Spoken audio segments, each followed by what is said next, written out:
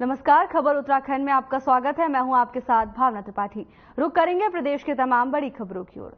BJP Lok Sabha चुनाव को लेकर पाँचों सीटों पर जीत के बड़े दावे कर रही है। हालाँकि प्रदेश में 2019 के मुकाबले इस बार मतदान प्रतिशत कम हुआ है। अब देखने वाली बात यह होगी कि बीजेपी के दावे कितने सच साबित होते हैं। इस पर पूर्व मुख्यमंत्री, कांग्रेस के वरिष्ठ नेता हरीश रावत का कहना है कि ये तो जनता खुद बता रही है, क्योंकि राज्य में पहले ही मतदान का प्रतिशत कम है। वहीं उन्होंने कहा कि इस बार बीजेपी पाँचों सीटों पर खतरे में है।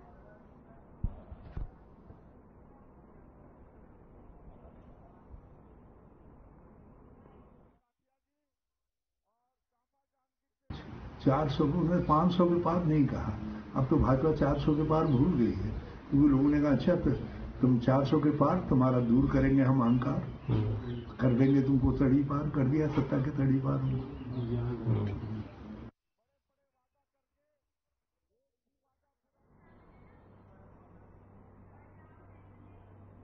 बीजेपी ने कांग्रेस के चुनावी घोषणा पत्र को महिला और बहुसंख्यक विरोधी बताया है।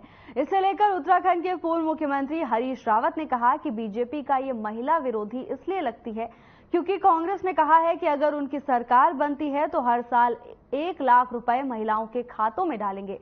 इसके साथ ही उन्होंने कहा कि हमारा घोषणा पत्र कहता है कि आंगनबाड़ी और महिला स्वयं सहायता समूह के मानदेय को दुगना करेंगे।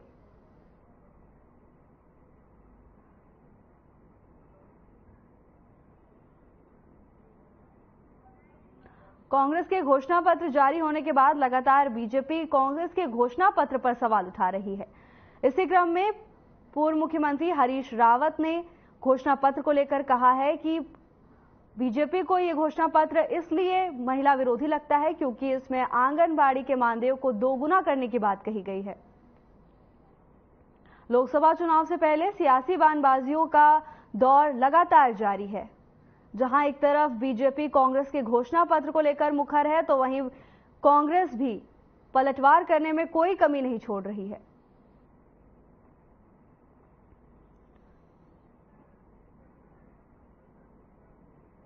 भाजपा को इसलिए महिला विरोधी दिखाई दे रहा है क्योंकि पहली बार किसी राजनीतिक दल ने कहा है कि हम सत्ता में आएँगे तो हम आम परिवार की जो सबसे बड़ी महिला है उसका खाता खुलवाएँगे और उसमें हर साल एक लाख रुपया मतलब हर महीने लगभग साढ़े आठ हज़ार रुपया उसके खाते में डालेंगे ताकि वो परिवार जो महँगाई का मुकाबला कर रहा है, उस उसमें उसको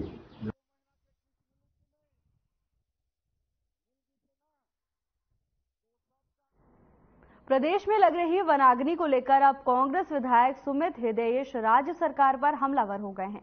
बताया जा रहा है कि किस वन विभाग की तरफ़ से जारी किया गया टोल फ्री नंबर विधायक के बार बार मिलाने के बाद भी बंद आया, जिस पर विधायक सुमित हृदेश ने कड़ी नाराज़गी जताते हुए कहा कि पर्यटन पर वनाग्नि का बड़ा असर पड़ रहा है और ऐसे ही हालात रहे तो मई और जून में हाहाकार मच सकता है क्योंकि इस बार बारिश और बर्फबारी न होने की वजह से सूखे के आसार बन रहे हैं और जंगलों में लग रही आग से पर्यावरण के साथ ही लोगों को भी भारी नुकसान हो रहा है। बावजूद इसके सरकार सोई हुई है और वन संपदा लगातार नष्ट हो रही है।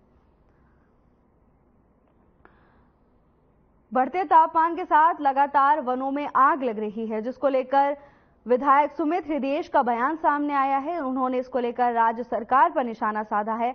उनका कहना है कि वनाग्नि की घटनाएँ बढ़ती जा रही हैं, इसके बावजूद राज्य सरकार सो रही है।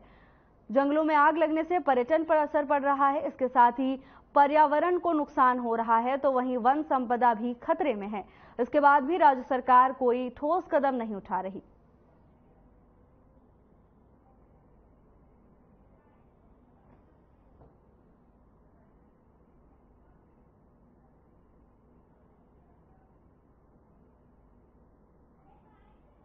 शुरू हो गई है। अभी अप्रैल भी समाप्त नहीं हुआ है तो भयावह स्थिति उत्पन्न होने वाली है। मई और जून के महीने में क्या हाल होगा?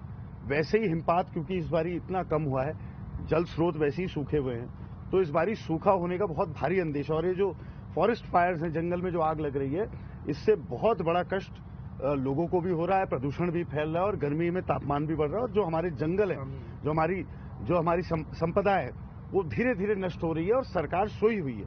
टोल फ्री नंबर एक जारी करा गया है, एक हज़ार सत्तर नंबर। ये मैंने तीन बारी आपके सामने अभी मिला है स्विच ऑफ़ है। उसमें वो भाई तो बाहर मत लोकसभा चुनाव में प्रदेश में संपन्न होने के बाद बीजेपी में बयानबाजी का दौर जारी हो गया है। गढ़वाल संसदीय सीट से टिकट की दावेदारी कर रहे राष्ट्रीय बागवानी बोर्ड के अध्यक्ष वीरेंद्र जुयाल ने एक बयान जारी कर फिर से सियासी गलियारे में हलचल पैदा कर दी है। बीजेपी के वरिष्ठ नेता वीरेंद्र जुयाल ने कहा कि वो सभी राजनीतिक पार्टियों को खुली चुनौती देते हैं, जो लगातार विधानसभा से लेकर लोकसभा चुनाव मैदान में अपना दमखम दिखा चुके हैं। कांग्रेस के जिला अध्यक्ष विनोद नेगी ने कहा है कि अब बीजेपी के ही नेता अब अपनी ही सरकार के खिलाफ लगातार बोलने लगे हैं। अब बीजेपी के वरिष्ठ नेताओं को लगने लगा है कि सरकार द्वारा पिछले 10 सालों में कुछ नहीं किया गया।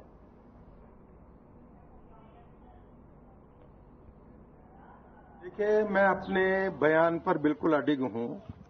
मैं अडिग हूँ, मैंने किसी को, इसमें किसी को मैंने कोई कष्ट या कोई दुख नहीं दिया है। मैंने ये कहा है कि मैं जब मात्र 12 वर्ष का था, तब मैं गढ़वाल विश्वविद्यालय के लिए आंदोलन में कूदा था, जब कुंजी भाई, कुंजी बिहारी नेगी जी आंदोलन कर रहे थे। 18 वर्ष की उम्र में मैं तिहाड़ जेल चला गया, उत्तराखंड राज्य आंदोलन के लिए। और तब से आज दिन तक मैं लगातार पार्टी में, भाजपा में कार्य कर रहा हूँ। मैंने देखा कि चुनाव में बहुत लोग चैलेंज फेंक रहे हैं, चैलेंज दे रहे हैं। तो मैंने सोचा, भाजपा का कार्यकर्ता, मैं भी एक चैलेंज दे दूँ। तो मैं एक ही पार्टी नहीं, सभी पार्टी के नेताओं को चैलेंज दे रहा हूँ कि अगर अपने व्यक्तिगत प्रयासों से, अपने व्यक्तिगत संसाधनों से अगर किसी भी पार्टी के नेता ने इस उत्तराखंड के लिए मुझसे ज़्यादा काम किया हो? तो अब मैं वृद्ध हो चुका हूँ। मैं चाहता हूँ कि कोई मुझे कह दे कि भाई, हमने तुमसे ज़्यादा काम किया तो मैं आदर सहित समझूँगा कि मेरा पहाड़ के लिए कुछ काम नहीं है। मेरे से भी बहुत लोग हैं जिन्होंने ज़्यादा काम किया तो मैं अपने घर बैठ जाऊँगा। आत्मकथा है, आत्मपीड़ा है। कहीं न कहीं जो है, वीरेंद्र जुयाल जी, उनका हम सम्मान करते हैं। और राष्ट्रीय बागवानी बोर्ड के वो हमारे जो है डायरेक्टर हैं। तो मैं ये कहना चाहता हूँ कि देखो, निश्चित रूप से अगर किसी जमीनी कार्यकर्ता ने पार्टी के हित में बहुत काम किए हैं तो निश्चित रूप से पार्टी का भी होता है कि उनको जो है आगे बढ़ाए। लेकिन जो है वीरेंद्र जियाल जी का भी आपने देखा होगा कि पूर्व में नाम भी चल रहा था कि जो है सांसद गढ़वाल प्रत्याशी वो भी हो सकते हैं भाजपा से। अब खैर, जो भी हुआ, आप समझ सकते हैं कि जो है भाजपा में जो है कुछ ऐसा भी हो जाता है कि जो है, टिकट भी कट जाते हैं और भाग से प्रत्याशी आ जाते हैं। तो जो है, उस पार्टी का अपना पर्सनल मामला है और उसमें हम लोग ज़्यादा बोलना नहीं चाहते। लेकिन ये है कि निश्चित रूप से वीरेंद्र जुयाल जी का, उनकी पीड़ा तो छलकी हुई है। कहीं ना कहीं उनको भी दर्द है कि जो है, पार्टी में इतने साल दिए, काम किया तो उनको भी सम्मान मिलना चाहिए था और मिलना भी चाहिए था।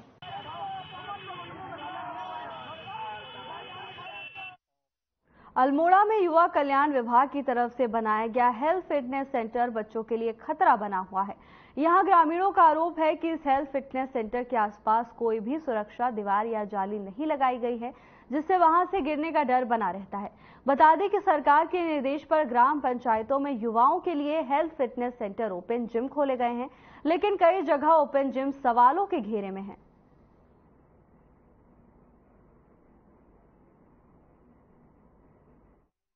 दुख इस बात का है कि जो फिटनेस सेंटर बनाया ग्राम सभा गोलना के अंतर्गत, उसके चार दीवारी उस पर नहीं है, पीछे दीवार नहीं है। और कभी भी वहाँ पर कोई बड़ा हादसा हो सकता है, लगभग उसकी जो हाइट है कभी तीस फीट की समथिंग में है। और वहीं पर नज़दीक में स्कूल है तो स्कूल के बच्चे भी वहाँ पर खेलने के लिए आते हैं, और कभी भी कोई बहुत बड़ा बड़ा हादसा हो सकता है यहाँ एक गाय गिर गई तो लगभग उसको पाँच दिन के बाद उसको रेस्क्यू किया किया गया।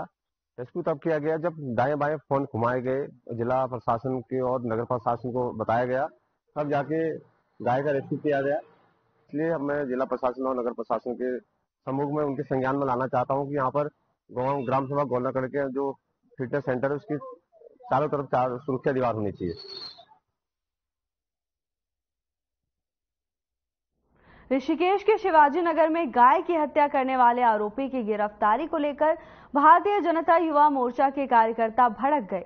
कार्यकर्ताओं ने कोतवाली में पुलिस को ज्ञापन देकर आरोपी को जल्द से जल्द गिरफ़्तार करने की मांग की। साथ ही मांग पूरी नहीं होने पर कार्यकर्ताओं ने पुलिस को आंदोलन करने की चेतावनी दी है। शुक्रवार को भारतीय जनता युवा मोर्चा के कार्यकर्ता ऋषिकेश कोतवाली पहुँचे, जहाँ कार्यकर्ताओं ने एसएसआई उत्तम रमोला को एक ज्ञापन सौंपा। बता दें कि शिवाजी नगर में नारायण स्वरूप ब्रह्मचारी की गौशाला है उसकी एक गाय पर धर्मवीर प्रजापति नाम के व्यक्ति ने अपने परिजनों के साथ मिलकर ईंटों से हमला किया था, जिससे उसकी मौत हो गई थी। खबर ऋषिकेश से है, जहाँ गौ हत्या को लेकर भाजयुमो के कार्यकर्ताओं में आक्रोश है, जिसको लेकर उन्होंने पुलिस को एक ज्ञापन भी सौंपा है। इतना ही नहीं, उन्होंने कहा है कि अगर जल्द कार्रवाई नहीं की गई तो वो उग्र आंदोलन करेंगे।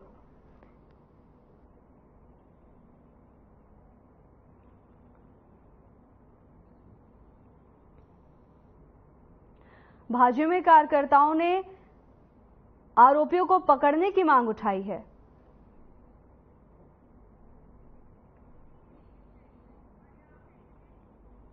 लाल कुआँ के आबादी वाले क्षेत्र में स्थित स्लीपर फैक्ट्री में देर रात फिर से विशालकाय भालू के आने पर क्षेत्र में हड़कंप मच गया। दरअसल बीते मंगलवार को आईडीपीपी और स्लीपर फैक्ट्री के बीच से वन विभाग की तरफ़ से भालू को रेस्क्यू कर जंगल में पहुँचाया गया था, जिसके बाद भालू फिर देर रात पानी की तलाश में स्लीपर फैक्ट्री में पहुँच गया। वहीं घटना की सूचना वन विभाग को दी गई और मौके पर तराई पूर्वी वन प्रभाग के प्रभागीय वनाधिकारी हिमांशु बांगरी, एसडीओ अनिल जोशी, गौला रेंज के वन क्षेत्राधिकारी चंदन सिंह, अधिकारी सहित पशु चिकित्सक भी मौके पर पहुँचे और रेस्क्यू टीम के प्रशिक्षित सदस्य भी मौजूद रहे। खबर लालकुआ से है, जहाँ भालू के आने से क्षेत्र में हड़कंप मच गया। आपको बता दें कि इससे पहले भी भालू क्षेत्र में आया था, जिसके बाद वन विभाग की टीम ने उसे रेस्क्यू कर दोबारा जंगल की ओर छोड़ दिया था। लेकिन एक बार फिर पानी की तलाश में भालू स्लीपर फैक्ट्री के पास आ गया, जिसके बाद इलाके में हड़कंप मच गया। मामले की सूचना वन विभाग को दी गई, जिसके बाद वन विभाग की टीम मौके पर पहुँची।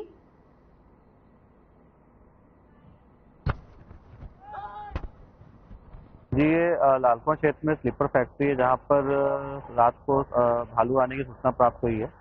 तो यहाँ पर टीम को मूव करा दिए गए। टीम अभी को मॉनिटर कर रही है और हमारी जो वेटनरी जो टीम है, वो भी मूव कर गई है और जल्द यहाँ पहुँच जाएगी और जब वह पहुँच जाती है तो फिर उसको रेस्क्यू करने का प्लान किया जाएगा रेस्क्यू किया जाएगा।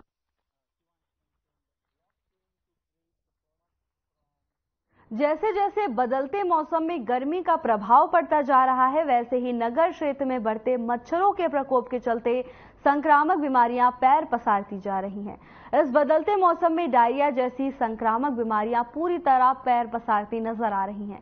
शहर के सरकारी चिकित्सालय हो या प्राइवेट चिकित्सालय, सभी पर पीड़ितों की लंबी कतार लगी है। सरकारी स्वास्थ्य महकमा पूरी तरह अलर्ट होने का दावा कर रहा है, लेकिन जमीनी हकीकत कुछ और ही बयां कर रही है। जसपुर सामुदायिक स्वास्थ्य केंद्र में उल्टी दस्त जैसी भयंकर बीमारियों को रोकने के लिए कुछ दवाइयों का अभाव नज़र आया।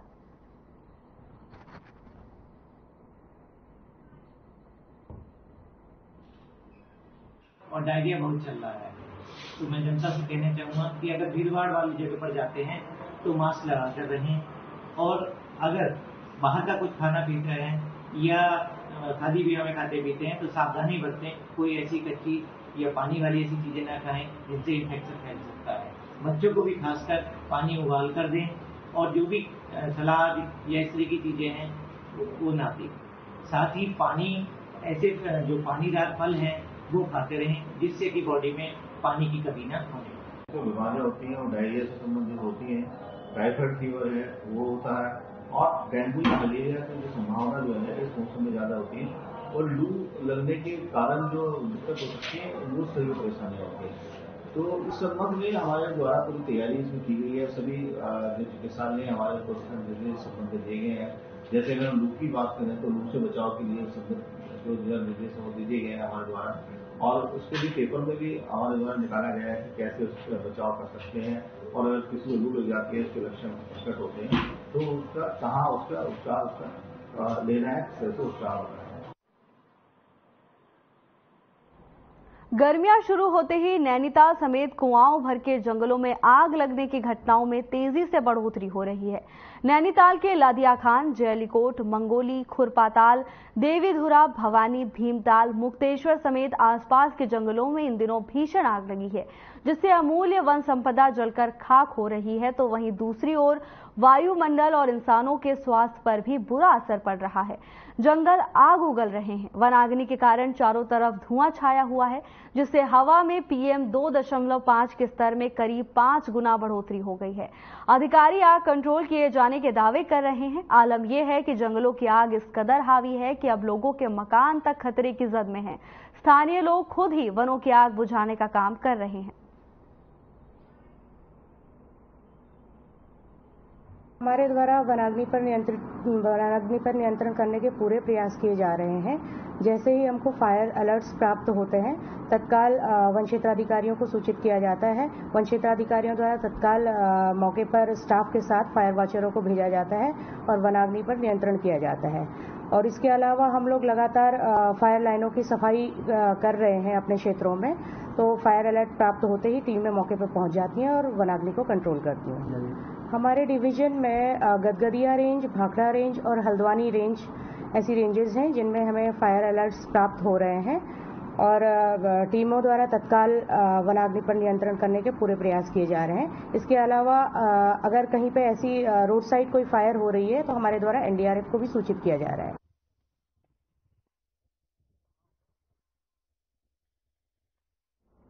उत्तराखंड में जंगलों में आग लगने का सिलसिला निरंतर जारी है। तमाम कोशिशों के बावजूद वन विभाग आग को रोकने में सफल नहीं हो पा रहा। बीते दिनों जंगलों में लगने वाली आग को लेकर मुख्यमंत्री ने भी वन विभाग को निर्देश जारी किए, जिसके बाद वन विभाग प्रमुख वन संरक्षक निशांत वर्मा ने बताया कि जंगलों में आग को रोकने के लिए अधिकारियों के साथ बैठक की जा रही है। इसके साथ ही जागरूकता अभियान भी चलाए जा रहे हैं।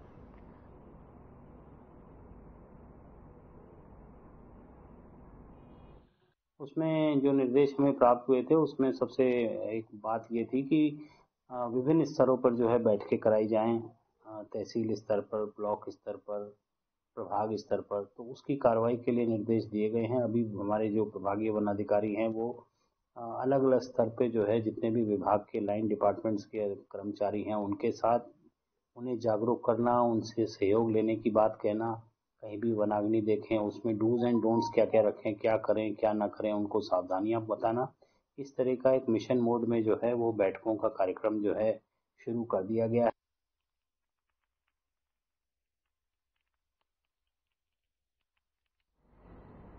दस मई से उत्तराखंड में शुरू होने वाली चार धाम यात्रा को लेकर श्रद्धालुओं में भारी उत्साह है।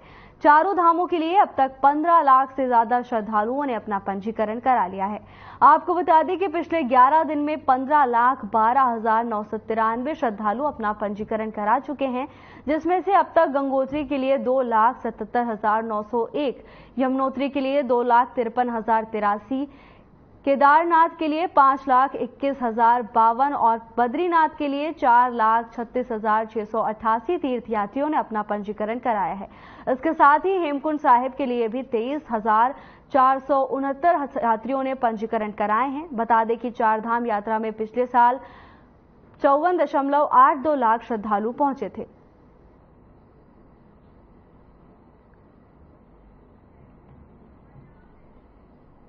चार धाम यात्रा संचालित करने वाली संयुक्त रोटेशन व्यवस्था समिति ने यात्रा पर जाने वाली बसों की लॉटरी डाली, जिसमें यात्रा पर पहली बस यातायात कंपनी की जाएगी।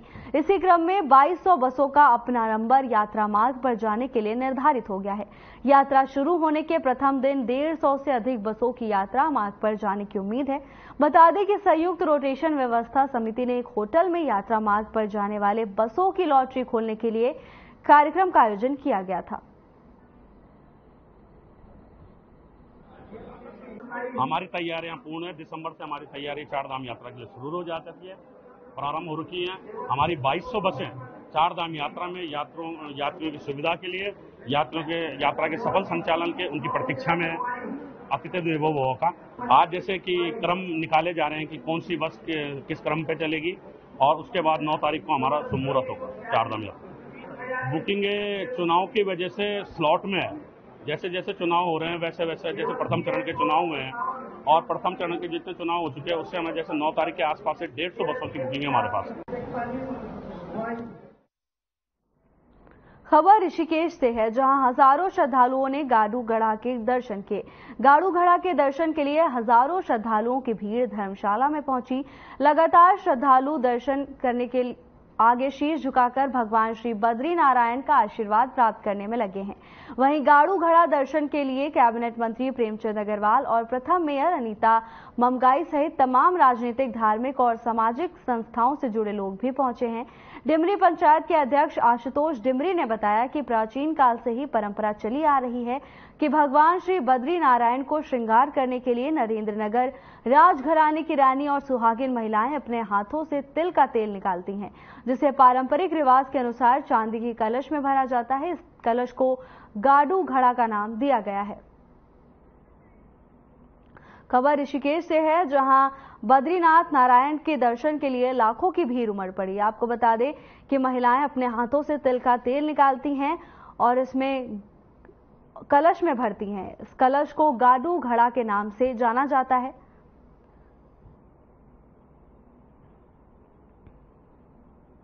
तस्वीरें ऋषिकेश से हैं, जहाँ कार्यक्रम को लेकर भक्तों की भारी भीड़ उमड़ पड़ी।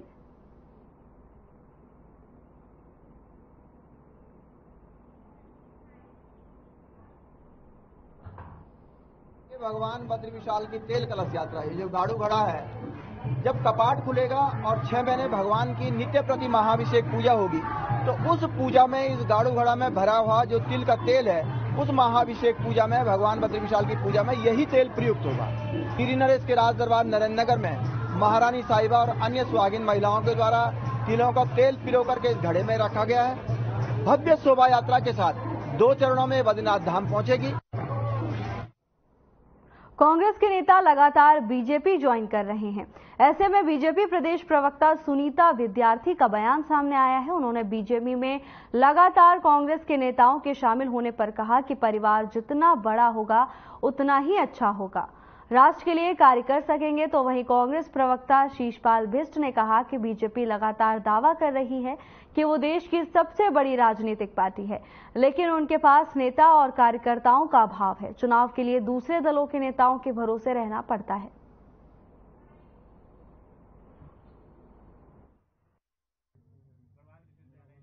भारतीय जनता पार्टी के चाहे मुख्यमंत्री हों, उनके प्रदेश अध्यक्ष हों या अन्य नेता लगातार दावा करते हैं कि वो जो है प्रदेश की और देश की और दुनिया की सबसे बड़ी राजनीतिक पार्टी है। दूसरी ओर जो है उनके पास कार्यकर्ताओं का भी अभाव है, नेताओं का भी अभाव है, जो है चुनाव के लिए जो है उनको विपक्ष के नेताओं, कार्यकर्ताओं के भरोसे जो है रहना पड़ता है। अब जब आप जो है विपरीत विचारधारा के अधिसंख्य जो है नेताओं को अपनी पार्टी में शामिल करवाएँगे तो फिर जो है तालमेल कैसे बनेगा?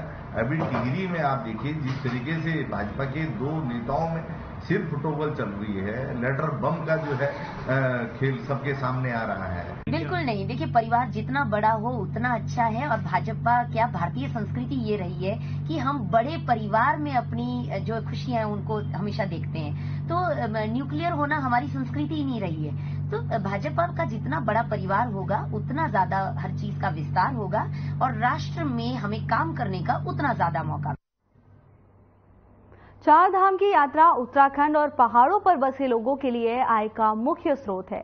ऐसे में चुनाव के बीच व्यवस्था को लेकर बीजेपी के प्रदेश प्रवक्ता सुनीता विद्यार्थी ने कहा कि सारी सुविधाओं की बारीकी से जाँच की जा रही है।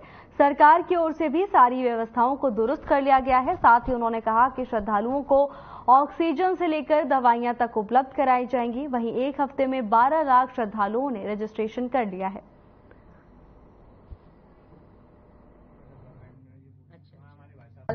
हमारे यहाँ होती है और हम फरवरी से उसकी तैयारी करना शुरू कर देते हैं। अभी अप्रैल चल रहा है और अप्रैल आते आते आप देख रहे हैं कि हमने सभी सुविधाएँ, जो वहाँ पे मूलभूत सुविधाएँ, चाहे परिवहन है, पर्यटन है, स्वास्थ्य है, सभी संबंधित विभागों के अधिकारियों के साथ में मिलकर सभी सुविधाओं को हमने सुनिश्चित कर लिया है। हमारी तरफ़ से, सरकार की तरफ़ से सभी तैयारियाँ दुरुस्त है, सभी श्रद्धालु आए और ज़्यादा से ज़्यादा दर्शन करके पुण्य लाभ लें और हमें ये मालूम है कि पिछली बार जो आंकड़े थे वो पचपन लाख से ज़्यादा हम श्रद्धालु उत्तराखंड में आए थे। और इस बार जो है, वो डेढ़ गुना ज़्यादा श्रद्धालुओं का भी आने का जो है वो मुझे लगता है कि ऐसी हम लोग सोच रहे हैं कि इससे ज़्यादा भी श्रद्धालु आ सकते हैं। तो उसके लिए सरकार की तरफ़ से अपनी तैयारियाँ कर ली गई हैं।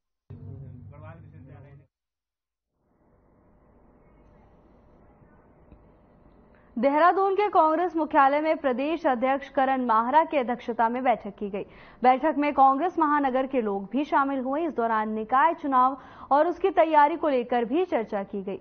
प्रदेश अध्यक्ष करण माहरा ने कहा कि प्रदेश में भी लोकसभा चुनाव में विभिन्न बूथों की लिस्ट से नाम गायब होना, दूसरे वार्डो के बूथों पर वोट डालना जैसी गड़बड़ियाँ सामने आई थी। इसके साथ ही आगामी निकाय चुनाव के लिए आरक्षण तय न होना ओबीसी वर्ग की कुछ दिक्कतों पर भी चर्चा की गई और जल्द ही इन सभी शिकायतों और सुझावों को जिला अधिकारी को भेजा जाएगा। मान्य औपचारिक हमारी चर्चा थी। महानगर पालिका के काफ़ी लोग आज पीसीसी में थे। और उन लोगों ने कहा कि हमको अगला चुनाव, क्योंकि वो लिस्टें बनने लगी, उस पर चर्चा थी। और किस तरीके से वोट्स में गड़बड़ियाँ हुई हैं, लोगों के नाम गायब हुए हैं, दूसरे वार्ड के, लोगों के नाम दूसरे वार्ड में डाले गए हैं। और कहीं कहीं मैं देख रहा हूँ कि भवन के नंबर नहीं डाले गए हैं, जिससे बहुत बड़ा गड़बड़ लग रहा है। अभी तक जो है जो आरक्षण है, उसकी घोषणा नहीं हुई है। ओबीसी में भी कुछ किस्म की दिक्कतें आ रही थी। कई लोग ऐसे हैं जो अपने गाँव के हिसाब से ओबीसी हैं। फ़िलहाल के लिए बस इतना ही। जल्द हाजिर होंगे नई अपडेट्स के साथ। नमस्कार।